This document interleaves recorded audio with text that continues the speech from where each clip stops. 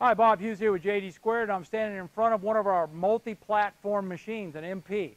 This one happens to be the PVD, which is an entry-level machine. Its bigger brother, the MAD, has a little bit more features on it, a little more power. I will explain all the differences between the PVD and a MAD in, in another video. But in this video, let's talk about what the MAD, what the multi-platform is and why did we do it.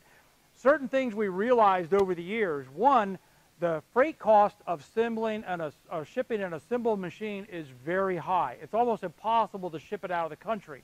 So we wanted a machine that was lower cost, significantly lower cost in freight, uh, but at the same time was easy for the customer to get up and running.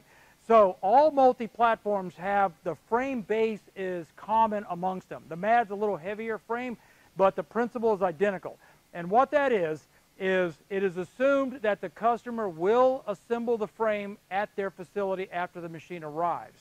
Now, to make that easy as possible, the entire frame has been CNC machined around the peripheral. We supply it with the precision connectors so that when a person receives the machine, it's going to take two adults to put the machine together. They could lay the legs down, put the beams in, connect the connectors, tighten everything up, level the machine, and they're off and running.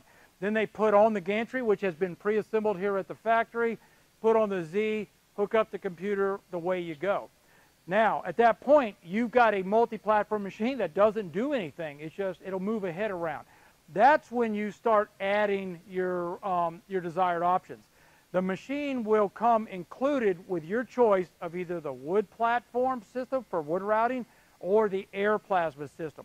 Now, on a PVD, to give you an idea, this 4x4 configured as an air plasma is under $10,000. That, that's a pretty remarkable deal. Um, but let's say you buy the base machine and then later you decide, I want to go to a water table or something like that. Well, you would just unbolt the air table system, order the water table office, put it on, now you've got a water table. Later on, you decide, I want an adjustable water level machine. You would then just purchase the the bladder type system, we, our system is uh, completely made out of steel. That's also described in another video. It's a very industrial system. Well, you add it later, now you have an adjustable water level. Now, go to an extreme. Two years down the road, you're done plasma cutting. You decide your new hobby is wood routing, no problem. Take the water table off, bolt on the wood system, put on the router. You now have a real wood router, not a, a converted plasma machine, but you have a real wood router. So those were the driving factors of designing the PV, I mean the PVD and the MAD multi-platform. Versatility, the ability to change the configuration in the future, drastically reducing the cost to actually get the machine to you. Now, um, in the next video, we'll be talking about the differences between the MAD, the current MAD machine, and the new multi-platform system. So check those out when you get a chance. Thank you.